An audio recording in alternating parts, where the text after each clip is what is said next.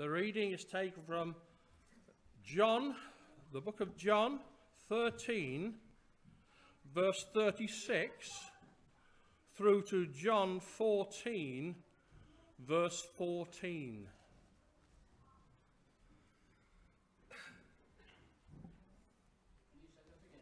Yeah. John verse, chapter 13, verses 36 to John 14 through to verse 14. Simon Peter said to him, Lord, where are you going? Jesus answered him, Where I am going, you cannot follow me now, but you will follow afterwards. Peter said to him, Lord, why can I not follow you now? I will lay down my life for you. Jesus answered, Will you lay down your life for me? Truly, truly, I say to you, the rooster will not crow till you have denied me three times. Let not your hearts be troubled. Believe in God. Believe also in me. In my Father's house are many rooms. If it were not so, would I have told you that I go to prepare a place for you? And if I go and prepare a place for you, I will come again and will take you to myself, that where I am, you may be also. And you know the way to where I am going. Thomas said to him, Lord, we do not know where you are going. How can we know the way? Jesus said to him, I am the way and the truth and the life. No one comes to the Father except through me. If you had known me, you would have known my Father also. From now on, you do know him and have seen him. Philip said to him, Lord, show us the Father, and it is enough for us. Jesus said to him, Have I been with you so long, and you still don't, do not know me, Philip? Whoever has seen me has seen the Father. How can you say, Show us the Father? Do you not believe that I am in the Father, and the Father is in me? The words that I say to you, I do not speak on my own authority, but the Father who dwells in me does his works. Believe me that I am in the Father, and the Father is in me, or else believe on the account of the works themselves. Truly, truly, I say to you, whoever believes in me will also do the works that I do and greater works than these will he do, because I am going to the Father. Whatever you ask in my name, this I will do, that the Father may be glorified in the Son. If you ask me anything in my name, I will do it.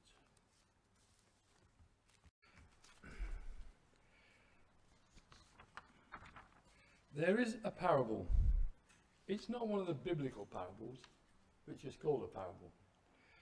It's about four blind, six blind men. And these six blind men go into a room in which there is an elephant. They can't see the elephant, they're blind. But each of the six men go in and they stumble and grope. Eventually, they get near to the elephant. One of them falls on it, the floor. And he says that this, this elephant is very like a wall. Another man, feeling the tusk, said, It's very like a spear. The third man goes up approached the animal and take, took hold of its tail, its, sorry, its trunk, and said, It's a snake. Remember, these are blind men. They're just going off what they can see, can't, cannot see and touch. They can touch, and that's it. The fourth one reached out with a hand and felt about the knee and said, This elephant, although it doesn't know it's an elephant at the time, is very like a tree. The fifth guy goes up and touches the ear. And he says, This elephant is very like a fan. Another man goes, feeling and groping, seizes a swinging tail and said, Oh, this elephant is a rope.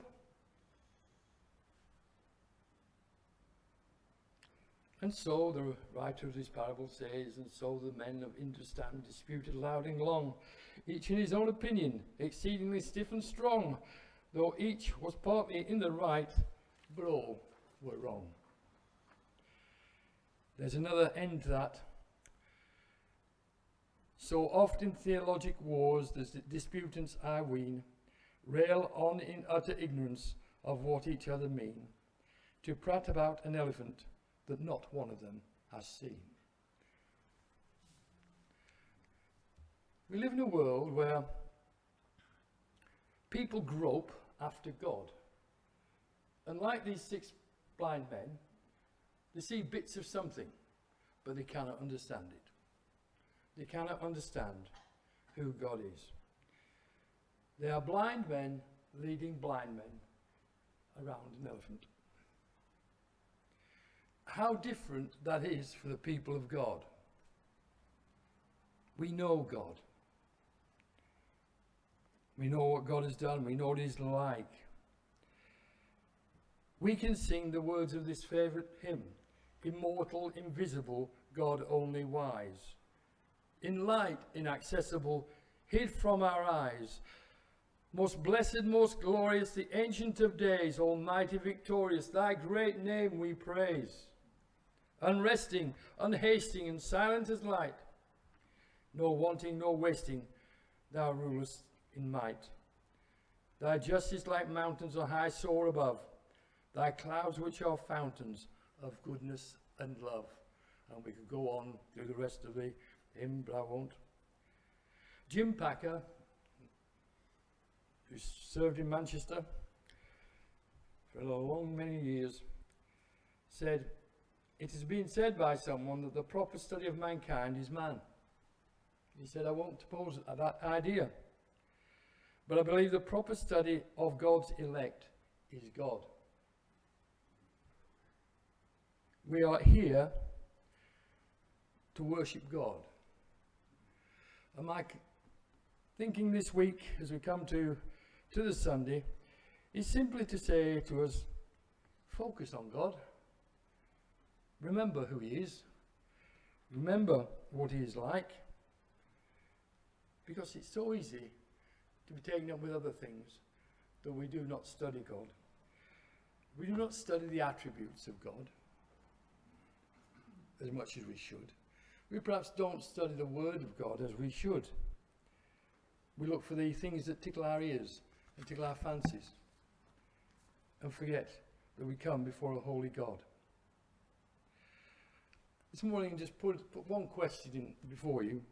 How do we know God? Now, we claim we know God, and we have vast experiences of God collectively in the church. But how do we know God? For the person who says, What is your God like? How do we know what God is like? Well, three simple things this morning are relatively simple. I want us to think about how God reveals himself to us. So we'll be looking at three different passages in Scripture, two short ones and one a bit longer that uh, Ian read to us. We know God in three ways, I want to suggest. We know him in creation, we know him through his word, and we know him through his son. We know Jesus by creation, by word and by his Son. Genesis 1 begins In the beginning, God created the heavens and the earth. And the earth was without form and void, and darkness was over the face of the deep. And the Spirit of God was hovering over the waters, the face of the waters. God created this world and all that is in it. And if we look at this passage in Genesis chapter 1, verses 1 through 3, we see that the world, there was nothing.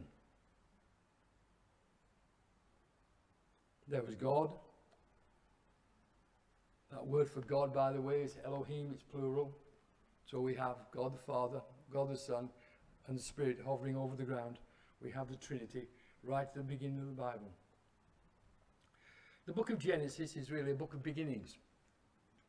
It's the beginning of the world, beginning of sin, beginning of murder, and lots of other things that we find as we go through Genesis. But I want to first of all notice that God created it all out of nothing. Think about that for a moment.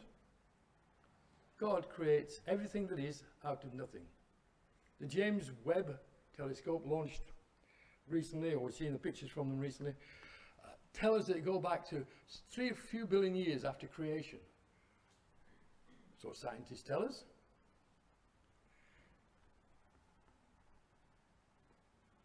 But they can't tell us how it got there. They can't tell us what happened before the Big Bang, if that's how we understand it. Genesis tells the people of God that in the beginning God created the heavens and the earth. And he did so out of nothing. Many of you have been around long enough to know that that word we find here, created, bara, is a word that is very important. It's only used four times in this reading in the first chapter of Genesis. But it means to bring something into existence that did not exist before. To bring out of nothing. Ex nihilo. They said, out of nothing. And I don't know about you, but I can't bring something out of nothing. I don't think any of us can. But here we see that God does. It means initiation.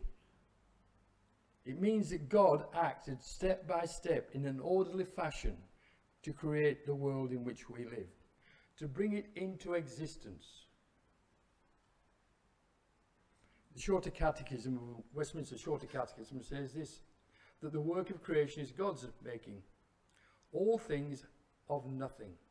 By his word, by the word of his power, it says, God created.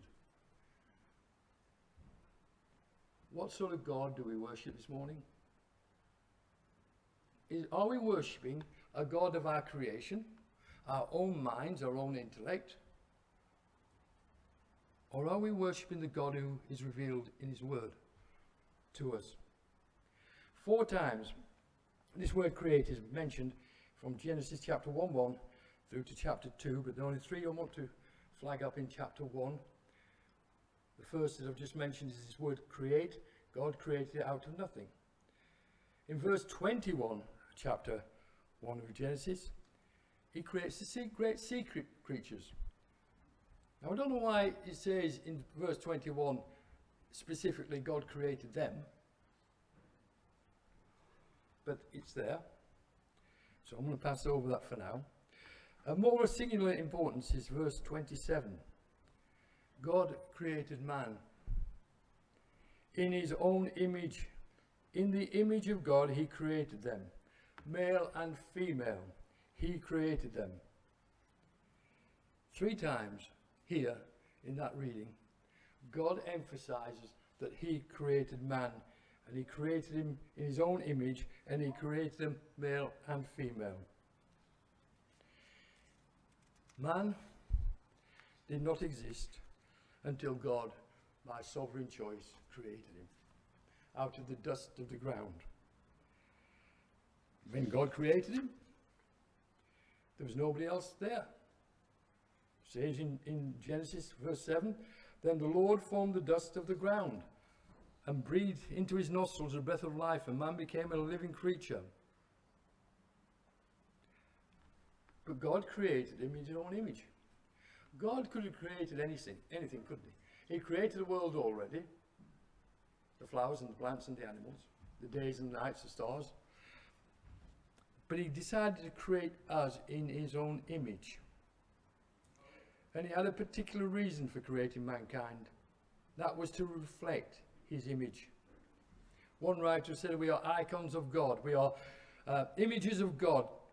Creatures made in the unique with a unique capacity to mirror and ca the character of God. Another writer puts it, we were made as intelligent and moral beings. We are the pinnacle of God's creation. We don't feel that way, do we? We're told we're just the higher level of an animal. But we have souls. We have consciences. We are different from the animals. We bear some things in resemblance, but we are distinct from them. In Psalm 8 it says this, What is man that you are mindful of him, and the Son of Man that you care for him? Yet you have made him a little lower than the heavenly beings, and crowned him with glory and honour. You have given him dominion over the works of your hands. You have put all things under his feet. Why? Because that's God's purpose for mankind. That was the created purpose. We're not simply atoms brought together for a period of time and then dispersed at death. We have an immortal soul that God gives to us and is eternal. God created man in his own image. And just returning again to that word bara, God created us out of nothing. Just consider the creative people among us. Um, if you're a painter, a sculpture, or a whatever, you can't work from nothing. You need to have something.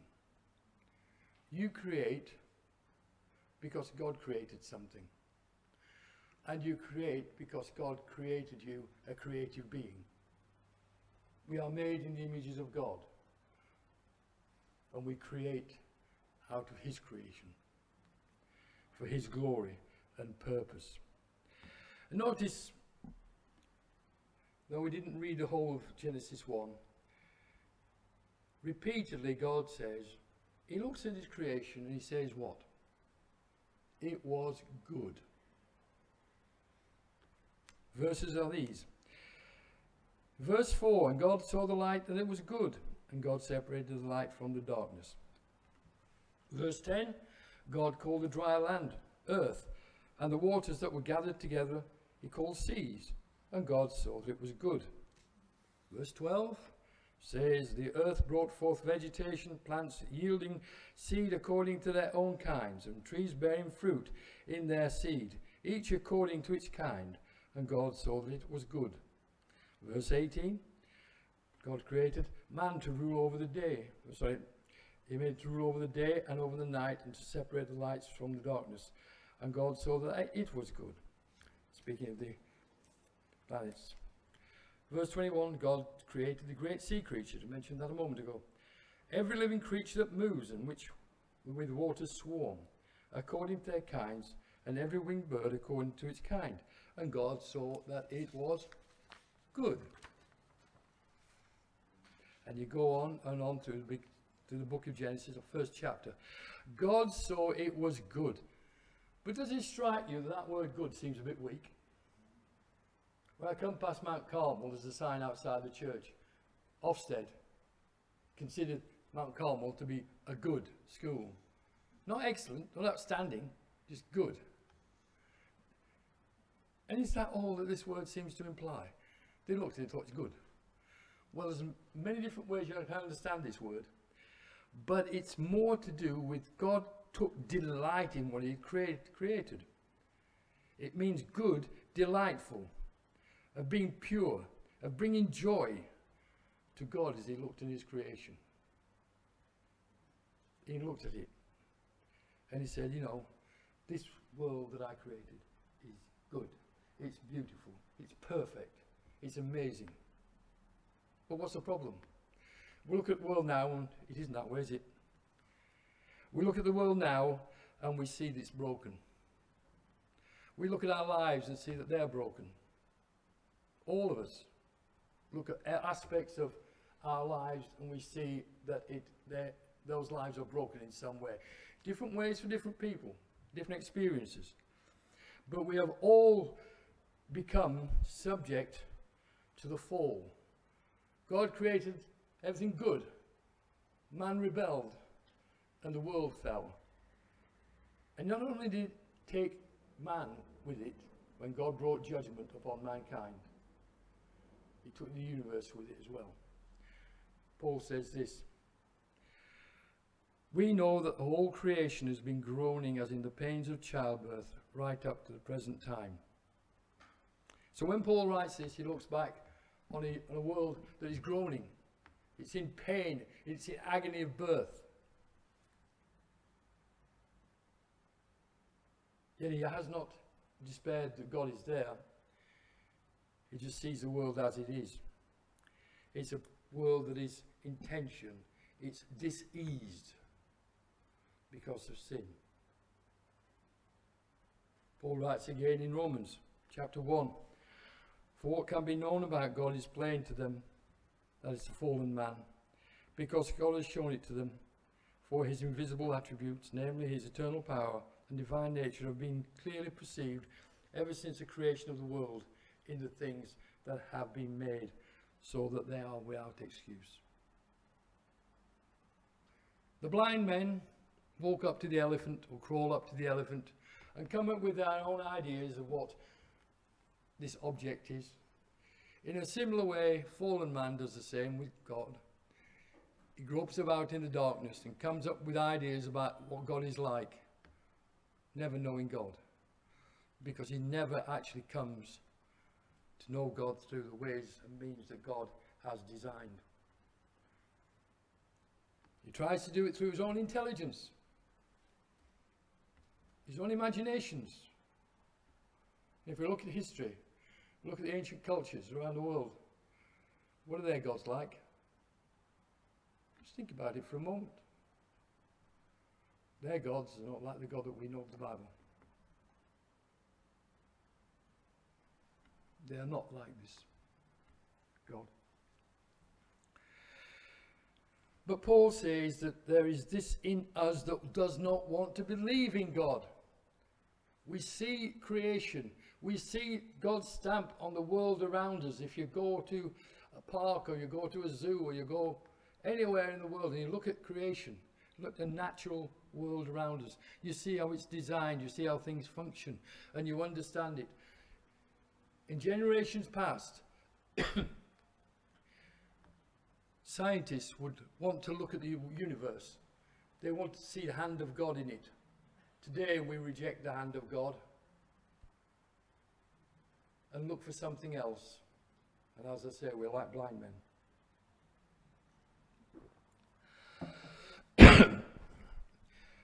no when you've got a microphone, is it?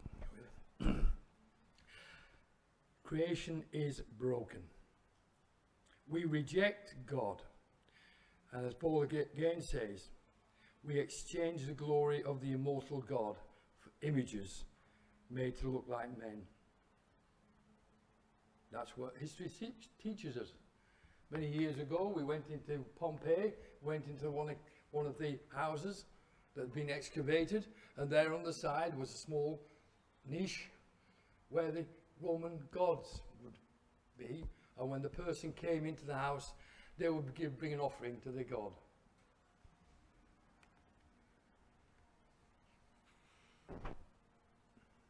Creation is fallen. It's damaged. It's broken. Yet it is still the world that God created, not in its perfection, in its fallenness, but it is still God's world. We are still God's people. He is still our creator, whether we acknowledge that or not today. We are called to worship the living, true God. G.K. Chesterton wrote, When we cease to worship the true God, it's not that we worship nothing, it's that we worship anything. And in our world today, the world is full of worshippers. Well, they're not. We may not be worshipping idols of statues of wood and whatever, at least not here, not everywhere. But we have our own idols in our culture, the things that we bow down to and worship, we can't live without. We've got to have this and we've got to have that. So, how do we know God? In creation. The second point is very brief because I've talked on it few months ago. We know Him through His Word. The Word of God is God's self revelation to us.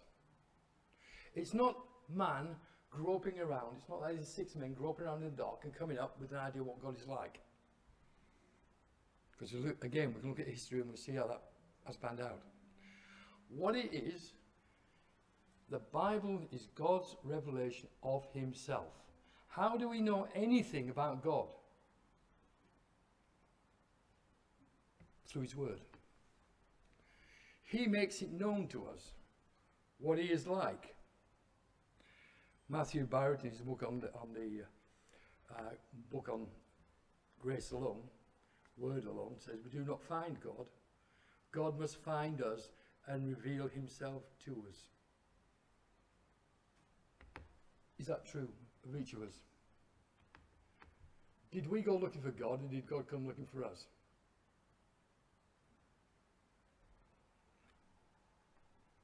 God ultimately came looking for us. Jesus said, What? I have come to seek and to save that which is lost. The initiative of redemption, the initiative of the gospel is rooted absolutely, totally, 100% in God. Because man left to his own devices never comes up with God like this. Come up with a God of works, bow down, bring, do, but of God of grace of mercy. Didn't do that. We know God because he revealed himself to us. And he did so by his word. Timothy says, all scripture is God breathed and is useful for teaching, rebuking, correcting, and training in righteousness. The word of God in its entirety is God breathed. It is not the invention of man. I remember, I think Mark Dever was talking to a, a Catholic priest in Philadelphia one time. And the Catholic priest was saying that the church created the Bible. Mark Dever stopped the priest and said, No, it didn't. The Bible created the church. What do we know about God? What do we know about his character? What do we know about the plan of redemption? What do we know about anything to do with God? From his word. So why should we neglect the reading of his word? Which we can do. It is through the Word that we know God. It is through the Word that we understand what He is like. It is through the Word that we understand the promise that we find in Genesis 3.15 that I will put my enmity between you and the woman, and between your offspring and hers. He will crush your hand, your head, and you will strike his feet. What are we going to make of that? Until we understand this is about the promise of the gospel that Satan will be defeated, Christ will be victorious, and he will redeem a people for himself.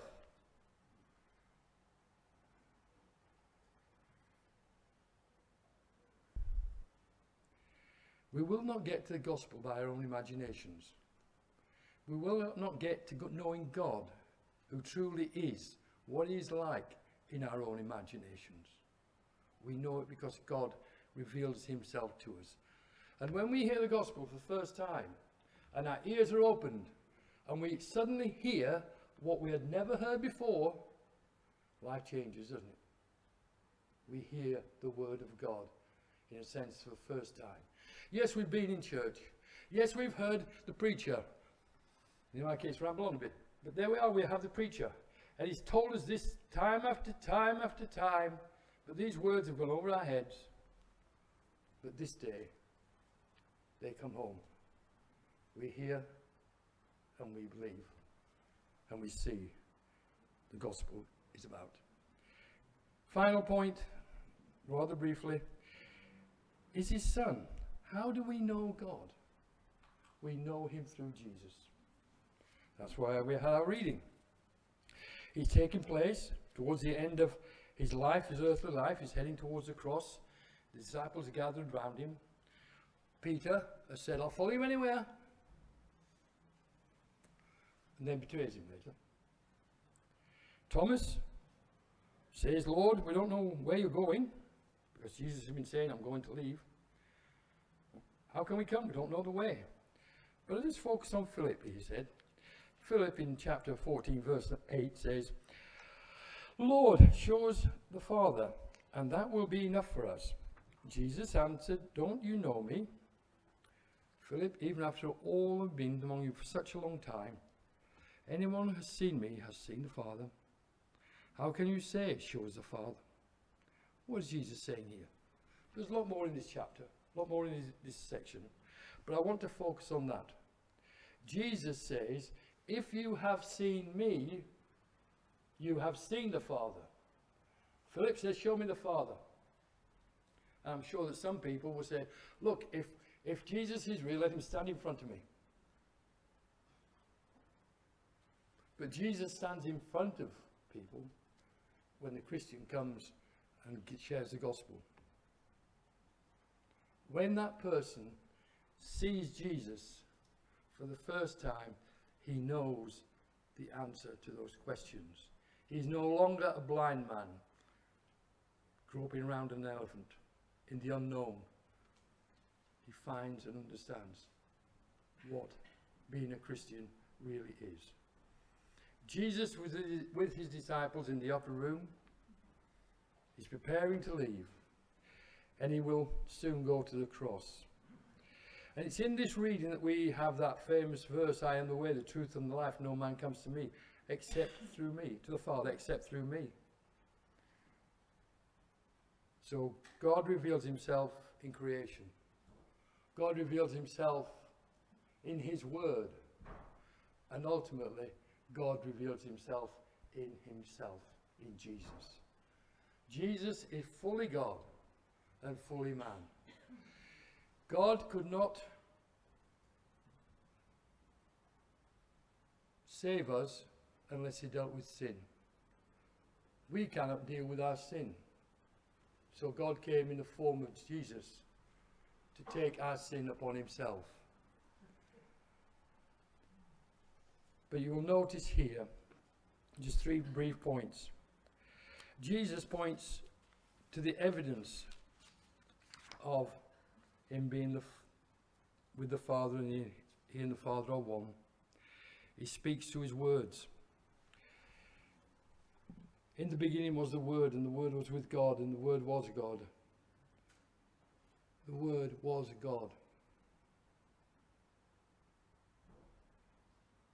The very words that Jesus spoke here, the very words that Jesus spoke throughout his entire ministry, were like as God speaking. There was no distinction in the Trinity. God the Father was speaking through the Son.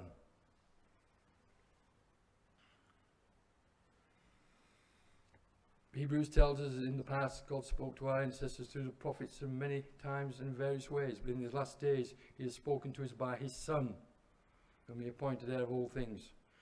Jesus is the last word. There is no other. Jesus is the one who has come to save us. Yes, there have been prophets, the Moses, Ezekiel, Daniel, all that list in the Old Testament. They all could not do what Jesus did. He lived a perfect life and died for the sins of his people. So when you think about his word, think about his teachings. They are the same as the very, very voice of God speaking. And his works. You can list over 40 miracles, depending on which book you pick up. Just think of, think of a few in the quiet mind. Just think of those miracles. Water into wine? walking on water, feeding the 5,000, stilling the storm, healing the leper, raising Lazarus, and raising a few other people.